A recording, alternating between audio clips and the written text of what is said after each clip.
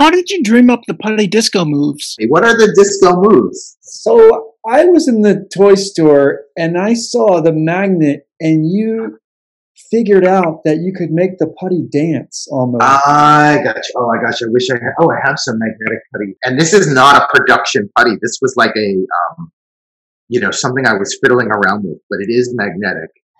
Um, it's a little shinier than our regular magnetic. yeah. I hope I'm giving away any putty secrets, right?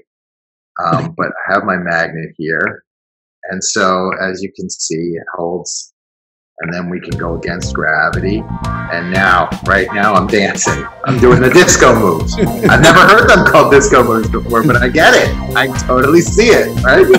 so we are just creating and inventing right now. So how did I how did I do this? Well, once I was able to make the putty magnetic, I just went back to that free association and playing around and just just getting my hands on it and not trying not to have preconceived ideas of what I should do and just let it happen. Um, and the other way to invent in that way is just to give it to a kid, right? Because kids don't have preconceived ideas and they'll just try anything. And usually, if just watching them play, they may not do the thing, but they'll give you that angle, that idea. It's like that different way of thinking for you to say, oh, wait, give me that back. I'm going to try something.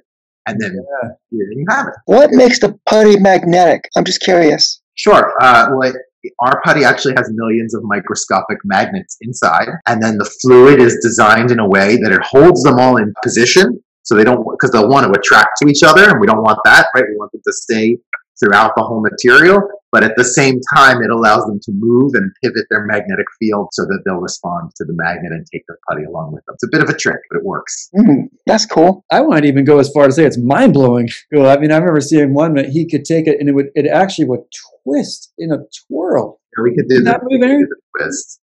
So the way you do the twist is you take it and now we're going to line up the magnetic field. So all of those microscopic magnets are now facing the south pole of this magnet.